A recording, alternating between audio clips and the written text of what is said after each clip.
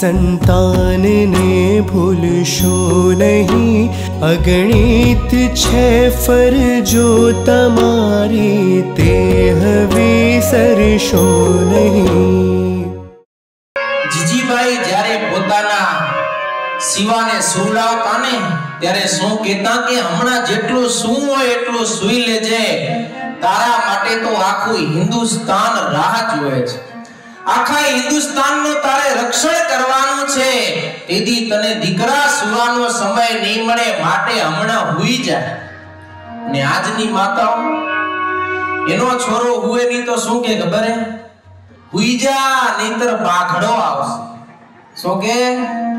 હુઈ જા, નહીતર બાઘડો આવશે અને ત્યાં જેનો બાપ અને મ્યાઉ મ્યાઉ કરતો નીકળ્યો ખાટલા નીચે ઈ બાળક આટલો છે, ત્યારથી એને ડરાવતા શીખવાડી દીધું. જ્યારે જીજાબાઈ બાળક નાનો છે, ત્યારે સુરવીરતાની વાતો કરે છે, યુદ્ધની વાતો કરે છે. સામી છાતીએ ઘા તને મળશે ને ઈ તારે ઝીલવાના છે, એવી વાતો કરે છે.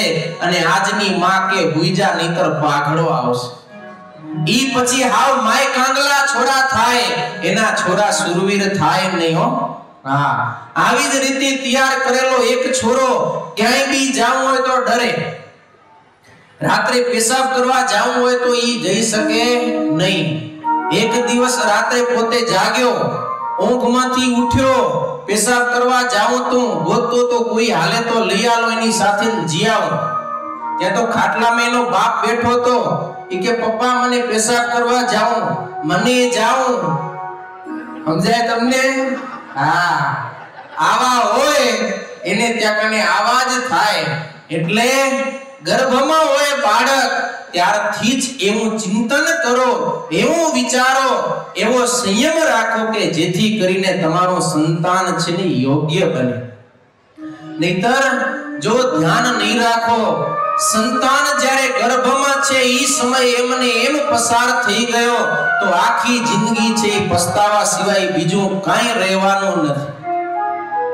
એટલે બાળકનો જન્મ થાય, એના પહેલાની એક પ્રોસેસ છે, ઈ પ્રોસેસ છે ને ઈ તમારે પૂરી કરવાની છે. જો તમારે તમારી ઘરે સારું બાળક બોલાવવું હોય, તો ઈ પ્રોસેસ પાસ કરવી પડશે. આ દુનિયાની અંદર બે પ્રકારના જીવ છે, એક દૈવી અને બીજો આસુરી. આમાંથી ઘણા બધા તમે એવા હશો કે જેણે ઘરે સંતાનોને બોલાવી લીધા છે. ઘણા બધા એવા હશો કે જેને બોલાવાના બાકી છે છે ને? કેટલા બાકી હોય હજી? આંગળી ઊંચી કરો. જેટલાને હજી ઘરે સંતાન બોલાવાના બાકી છે એવા કેટલા? લગ્ન નથી કરે એ બધાય. હે? આ બધાયને તમારે સંતાન ઘરે બોલાવવાના બાકી છે. તો આ તમને બધાયને ઉપયોગી થાય. કામ લાગે એવી વાત છે. કેટલા પ્રકારના જીવ છે? બોલો. બે પ્રકારના. કયા કયા?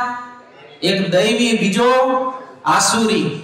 હવે તમને નક્કી કરવાનું છે કે મારે મારી ઘરે કયો જીવ બોલાવો છે? દૈવી કે આસુરી? ગીતા એમ કહે છે સુચિનામ શ્રીમતામ ગેહે યોગ ભ્રષ્ટો વિજાયતે સુચિનામ શ્રીમતામ ગેહે યોગ ભ્રષ્ટો અભિજાયતે. જે મા બાપનું જીવન પવિત્ર હોય, સંયમી હોય, ત્યાં કને એક યોગ ભ્રષ્ટ એટલે કે દૈવી જીવનો જન્મ થાય છે. સારા સંતાનનો જન્મ ક્યાં થાય? જે મા બાપ સંયમી જીવન જીવતા હોય, પવિત્ર જીવન જીવતા હોય, એને ત્યાં સારા બાળકનો જન્મ થાય. રામાયણની અંદર પણ કહેલું છે, યસ્ય પિતા સુજી ભૂતો, માતા યસ્ય પતિવ્રતા, ઉપાભ્યામેવ સંભૂતસ તસ્ય ચલતી નો મન. જેના બાપનું જીવન અતિશય પવિત્ર છે સંયમ વાળું છે જેની માતા પતિવ્રતા નારી છે, સંયમી જીવન જીવે છે, એના થકી ઉત્પન્ન થયેલો બાળક એનો મન છે ક્યારે કુમાર્ગે જતું નથી, એનો મન ક્યારે વિચલિત થતું નથી. આ બે શ્લોક છે ને ઘણું બધું તમને કહી જાય છે ભક્તો. તમારે સારા સંતાનને ઈચ્છવું છે તો તમને પેલો સારું થાવું પડશે. તમારા બાળકને જન્મ આપ્યા પહેલા એક પ્રોસેસ પૂરી કરો. તમારા ઘરે બાળકનો જન્મ થવાનો છે. તમે જ્યારે ગર્ભાધાન કરો, એનાથી છ મહિના પહેલા તમારે પ્રોસેસ ચાલુ કરવી પડશે. તમે ગર્ભાધાન કરો, એનાથી છ મહિના પહેલેથી તમારું જીવન બિલકુલ નિયમિત સંયમી બનાવો. તમારું જીવન છે નિયમિત થવું જોઈએ. મનને પવિત્ર કરવું પડશે. તો જ તમારું સંતાન છે ને સારું થશે. સત્સંગ અને ભજનમય જીવન બનાવો. ટીવી જોવાનું ટાળી નાખો, ઇન્ટરનેટ બંધ. હા, એક સંતાન યોગ્ય બનાવવા માટે એક સારા સંતાનને જન્મ આપવાની આ પ્રોસેસ છે. જો તમે ટીવી જોતા હશો, તમે ગર્ભાધાન કરશો, ગર્ભની અંદર બાળક હશે ને તમે ટીવી જોશો તો તમારું સંતાન ક્યારેય પણ સારું થવાનું નથી. એ સમય દરમિયાન તમને સંયમ ખપશે ખપશે ને ખપશે જ. જો સંયમ નહીં હોય તો તમારું સંતાન સારું નહીં થાય. સાત્વિક આહાર ખપશે અને જ્યારે ગર્ભની અંદર ગર્ભાધાન કરો કે ગર્ભમાં બાળક રહે, તમારા શરીરનો ચેકઅપ કરાવતા રહેવાનું. હા, કાંઈ બી પ્રોબ્લેમ હશે તો એ પણ બાળકની અંદર આવવાનો છે. એટલે શરીરનો ચેકઅપ થવો જોઈએ અને બ્રહ્મચર્ય વ્રતનું પાલન થવું જોઈએ. તમને એમ થશે કે અમે તો ગ્રસ્ત, અમને વળી કેવું બ્રહ્મચર્ય? બ્રહ્મચર્ય તો સાધુનો ધર્મ છે. ના. સાધુને તો અષ્ટ પ્રકારે બ્રહ્મચર્ય આજીવન છે, પણ ગ્રસ્તાશ્રમીઓનો પણ બ્રહ્મચર્ય શાસ્ત્રની અંદર કહેલું છે. ભગવાન સ્વામિનારાયણે ગરડા પ્રથમ પ્રકરણના 34મા વચનામૃતની અંદર વાત કરી કે ગ્રસ્તને પણ બ્રહ્મચર્ય કહ્યું છે? કહ્યું તો કે પરસ્ત્રીનો સર્વથા ત્યાગ રાખવો. પોતાની સ્ત્રીનો પણ વ્રતના દિવસે ત્યાગ રાખવો અને ઋતુ સમેજ સ્ત્રીનો સંગ કરવો, ઈ ગ્રસ્તનો બ્રહ્મચર્ય વ્રત કહેલું છે. આપણા ઋષિ મુનિઓએ કોઈ વાત બાકી રાખી નથી. બધી વાતો હરેકના ધર્મો આપણા શાસ્ત્રોની અંદર લખ્યા છે. ચારે વર્ણોના ચારે આશ્રમોના ધર્મો લખાયેલા છે. એમાં ગ્રસ્તાશ્રમીઓના ધર્મ લખ્યા, એમાં તમને ગ્રસ્તને સંતાન જોઈએ છીએ તો તમે કેવી રીતે રહેશો? શું કરશો? કેમ કરશો? એ બધાય વિધિ વિધાનો શાસ્ત્રની અંદર લખાયા છે. સત્સંગી જીવનના પાંચમા પ્રકરણના આઠમા અધ્યાયની અંદર સતાનંદ સ્વામીએ સરસ વાત બતાવી છે. આજે પ્રસંગ છે એટલા માટે તમને બતાવું. સૌ કોઈને તમને ઉપયોગી થશે. જો કે વાત એવી છે કે આ જાહેરમાં ન થાય, પણ સત્સંગી જીવનની અંદર સતાનંદ સ્વામીએ લખી છે અને આજે પ્રસંગ છે એટલે સંભળાવું છું. તમે ઋતુકાળ તો સમજો ને. સ્ત્રી માસિક ધર્મમાં આવે ત્યારથી એને ઋતુકાળ પ્રાપ્ત થાય. હવે એની અંદર તમે તમારી સ્ત્રીનો ક્યારે સંગ કરી શકો એના વિધિ વિધાનો શાસ્ત્રની અંદર બતાવ્યા છે. એની અંદર 16 દિવસનો ઋતુકાળ ગણવામાં આવ્યો છે. હવે 16 દિવસ ઋતુકાળ છે એમાં પ્રથમના ચાર દિવસ સ્ત્રી માસિક ધર્મની અંદર હોય એ વખતે તો એનો કોઈ સ્પર્શ જ ના કરી શકે એટલે સંગ કરવા માટે શાસ્ત્રની અંદર વર્જ્ય છે. સ્ત્રી માસિક ધર્મમાં હોય ત્યારે પુરુષ ક્યારે એનો સંગ ન કરી શકે. હવે 16 માંથી કેટલા બચ્યા? 12 હવે 12 દિવસમાં પણ જે વ્રતના દિવસો હોય, એ વ્રતનો દિવસ, વ્રતની આગલી રાત્રિ અને વ્રત પછીના દિવસની રાત્રિ. એટલે કે એકાદશીનો વ્રત છે તો દસમની રાત્રિ ને બારસની રાત્રિ. ત્રણ દિવસ સુધી, ત્રણ રાત્રિ પણ તમે તમારી પોતાની સ્ત્રીનો પણ સંગ કરી શકો નહીં. વળી જન્માષ્ટમી, શિવરાત્રી, દિવાળી, રામનવમી આવા ઉત્સવ વ્રતના દિવસો હોય. અમાસ અને પૂનમ ઈ દિવસે પણ નિષેધ બતાવ્યો છે. ઈ દિવસે પણ તમે તમારી સ્ત્રીનો સંગ ન કરી શકો. આટલા નિષેધના દિવસો છે અને એના સિવાયના 16 દિવસ ઋતુકાળ એના સિવાયના દિવસો ઈ બધા નિષેધના છે. ઈ પ્રમાણે રહે ઈ ગ્રસ્તનો બ્રહ્મચર્ય બતાવેલું છે. ઈ બ્રહ્મચર્ય વ્રતનો જે પાલન કરતા હોય ઈ સંયમ છે અને સંયમી મા બાપને ત્યાં યોગ્ય સંતાનનો જન્મ થાય. હવે સતાનંદ સ્વામી ઈ બતાવે છે કે તમને દીકરો જોઈએ છે કે દીકરી? જો દીકરો જોઈતો હોય તો તમે કયા સમયે સંગ કરશો? દીકરી જોઈતી હશે તો કયા દિવસે સંગ કરશો? યુગમાં પુત્રાર્થિનસ તત્ર સસ્તાસ કન્યાર્થિનઃ પરાહ ઉત્તરા ઉત્તરામ શ્રેષ્ઠમ પ્રાહુસ્તત્રાપી સર્વરિમ. તો ઈ સમજો કે જેમ જેમ દિવસો પાછા થતા જાય, એમ એમ ઈ સ્ત્રીને ગર્ભ યોગ્ય ધારણ કરવાની વધારે કેપેબિલિટી આવે છે.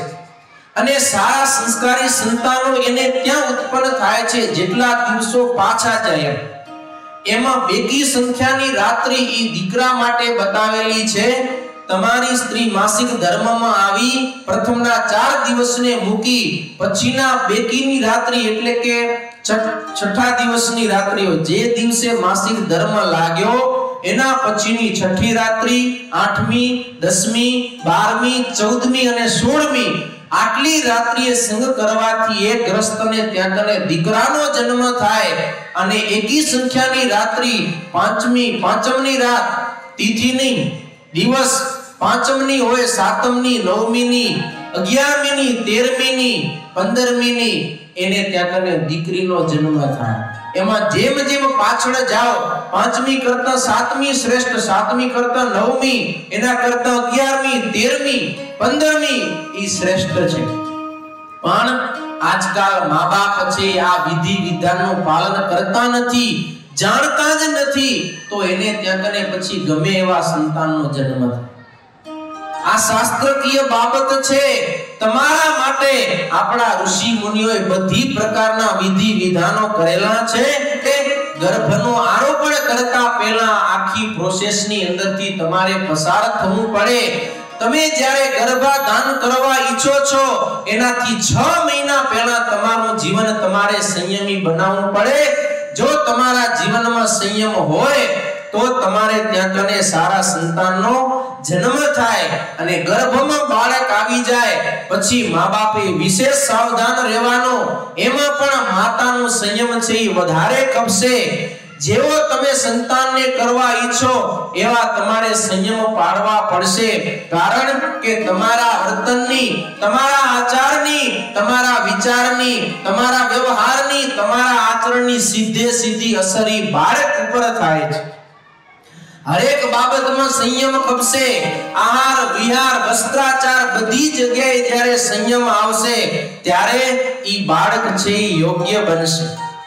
અને આજે આહાર, વિહાર અને વસ્ત્રાચારની વાતો થઈ શકે એવી નથી. આ ત્રણે ત્રણ બાબતની અંદર હરીફાઈ લગાવી છે આજે માણસોએ. એમાં વસ્ત્રોની અંદર તો આમ રેસ લાગી છે, સમજી લ્યો. સેની પહેરવાની કે કાઢવાની ઈ સમજાતું નથી. તમારા વસ્ત્ર પહેરવા ઉપર સંયમ નહીં હોય તોય તમારું સંતાન છે, યોગ્ય થવાનું નથી. માટે ખાસ ધ્યાન રાખજો. યાદ કરો, આજથી 20 વર્ષ પહેલા આપણો પહેરવેશ કેવો હતો અને આજે આપણો પહેરવેશ કેવો છે? આજથી 20 વર્ષ પહેલા નવરાત્રી કેવી થતી હતી ને આજે કેવી થાય છે? આજથી 20 વર્ષ પહેલા ટીવી ના કાર્યક્રમો કેવા હતા ને આજે કેવા થાય છે? આજથી 20 વર્ષ પહેલાના છાપા મેગેઝિન કેવા હતા ને આજના કેવા છે? જો આજના આવે છે તો આજથી 20 વર્ષ પછીના કેવા હશે? હે? દિન પ્રતિદિન માણસ છે એ બદલતો જાય છે.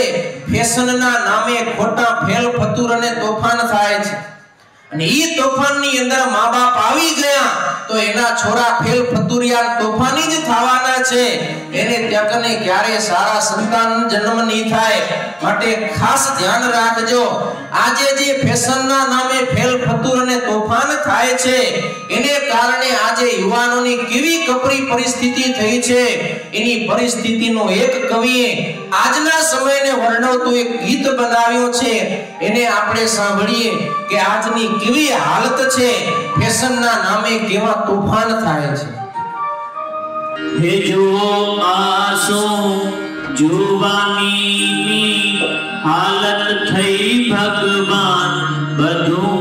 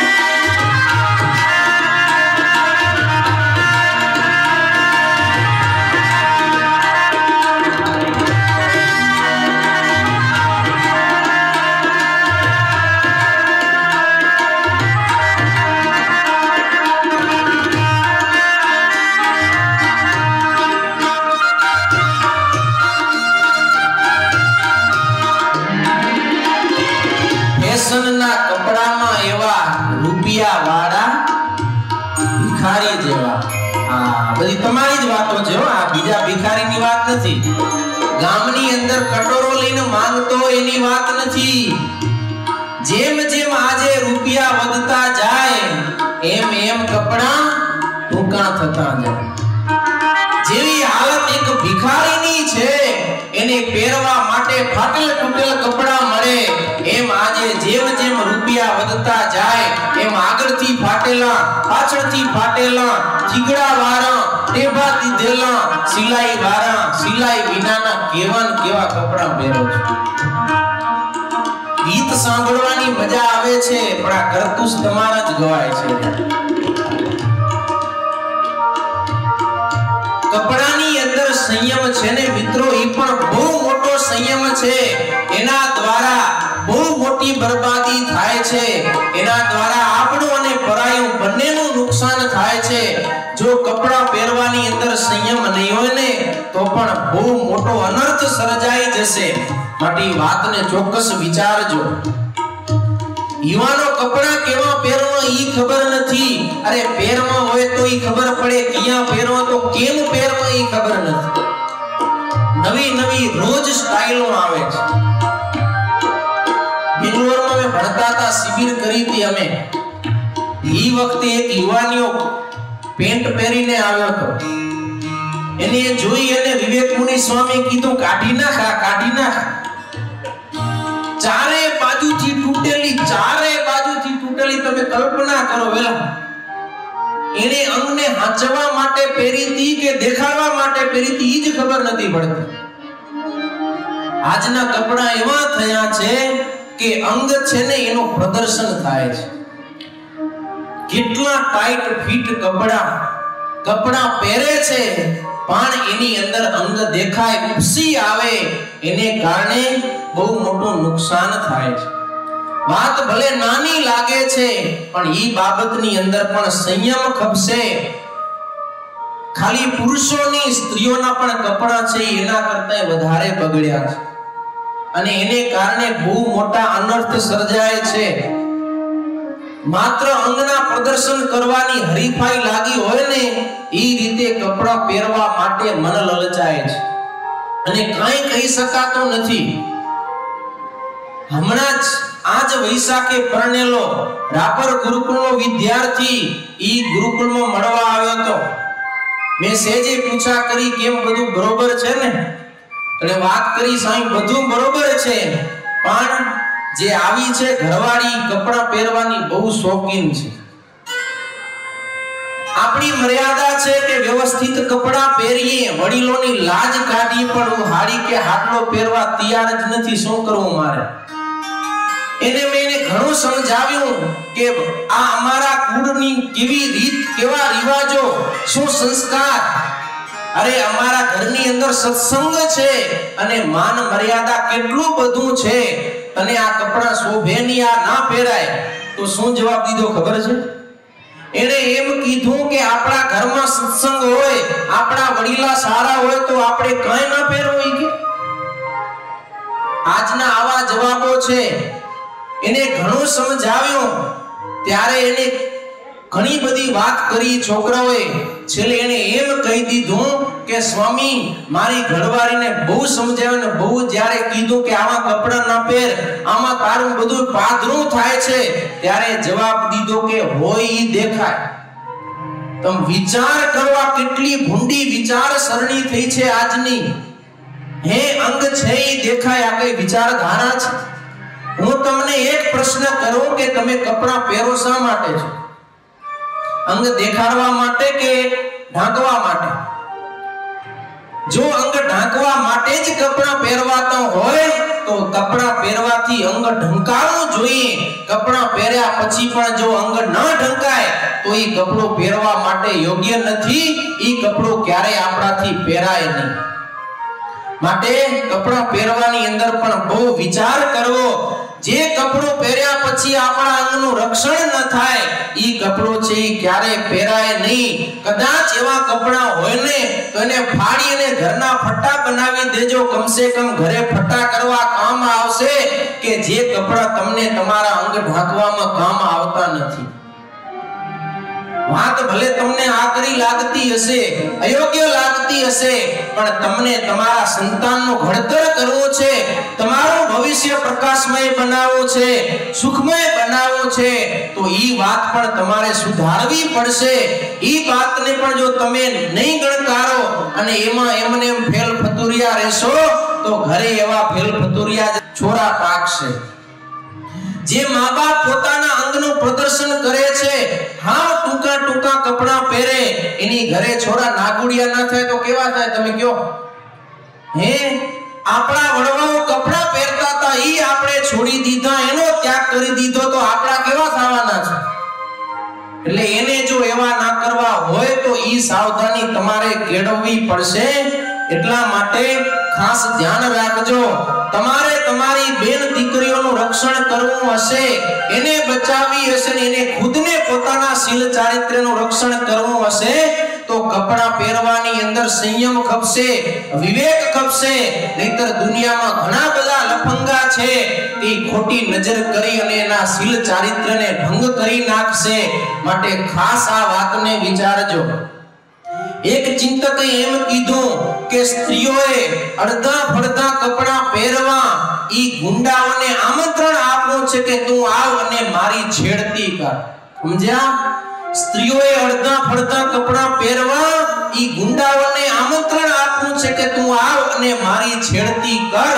એટલે જો આવી પરિસ્થિતિ ના ઊભી કરવી હોય તો કપડાં પહેરવાની અંદર સંયમ ખપશે, મર્યાદા ખપશે, તો જ આપણે ત્યાં યોગ્ય સંતાન છે ને એ જન્મ ધારણ કરશે અને એ બાળક છે ને એ સારો થશે. વસ્ત્ર પહેરવાથી શોભા વધે છે, વસ્ત્ર ઉતારવાથી શોભા નથી વધતી. તમે જસ્ટ કલ્પના કરો કોઈ બી પુરુષ કે કોઈ બી સ્ત્રી શરીરના બધાય કપડાં ઉતારી નાખે અને પછી આખા એ શરીરને આભૂષણથી શણગારે, ગમે એવા સોનાના હાર પહેરે તો ઈ શોભે ખરી?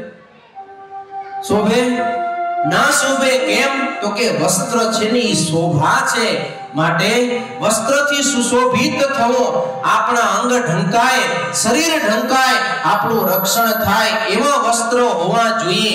અંગ પ્રદર્શન થાય અને બીજાની નજરો બગડે એમાં ક્યારે આપણા કપડાં હોવા જોઈએ નહીં. એટલા માટે શોખ કરજો, ફેશન કરજો, પણ ફેશનના નામે ફેલ ફતુર કે ખોટા તોફાન ના કરતા.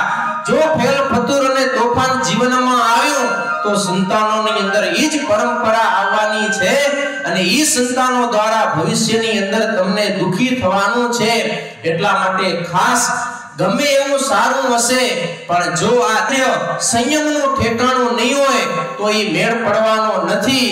એટલા માટે ખાસ જીવનની અંદર સંયમ રાખજો. તમારું જીવન ચારિત્ર્યવાન બનાવજો, ઉજ્જવળ બનાવજો, જેથી કરીને તમારી આવનારી પેઢી છે ને એ પણ એવી સંયમી અને યોગ્ય બને.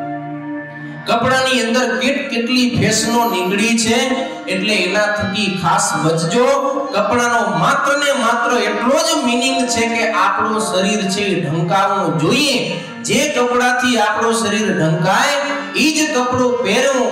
જે કપડાથી આપણા શરીર ઢંકાતા નથી, અંગ દેખાય છે, પ્રદર્શન થાય છે, એવા કપડા ક્યારે પહેરવા જોઈએ નહીં. આ થયો વસ્ત્રાચારની અંદર સંયમ. હવે જમવાની અંદર, આહારની અંદર, એની અંદર પણ માતા પિતાએ સંયમ રાખવો પડશે. ભોજનને કારણે પણ ઘણી બધી નબળી પરિસ્થિતિ સર્જાય છે અને આજે ભોજનને કારણે જે હાલત થઈ છે, એનું પણ કોઈ આગળના શબ્દોની અંદર વર્ણન કરે છે. ઘરના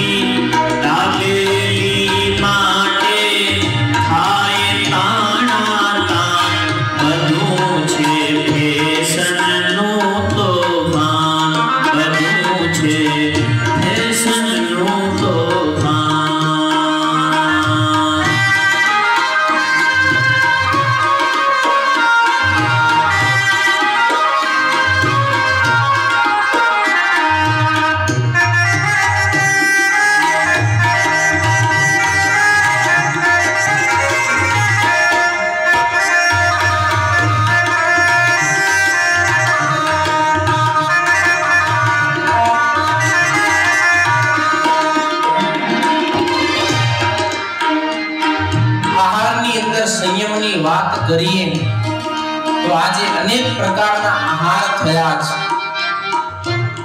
પણ માણસને આજે ઘરની અંદર પોતાની જે માએ પવિત્ર થઈને સરસ મજાની બનાવેલી ભોજનની ડીશ એ આજે એને ખાવી પસંદ પડતી નથી. અને બજારની અંદર રેકડી જેમ હાથમાં ઓલા ભિખારી, કટોરા લઈને ફરતા હોય ને માંગીને ખાતા હોય, એમ પાણીપુરી વાળા પાસે બબે પાણીપુરી માંગીને ખાવાની અંદર એને મજા આવે. વાતો કેની થાય ખબર ને? હા. બીજા કોઈની વાતો નથી થતી. આપણી જ, તમારી જ વાતો થાય છે. આ બધાએ આપણે આ બાબતની અંદર સંયમ ચૂક્યા છીએ. અને એને કારણે ઘણું બધું નુકસાન છે.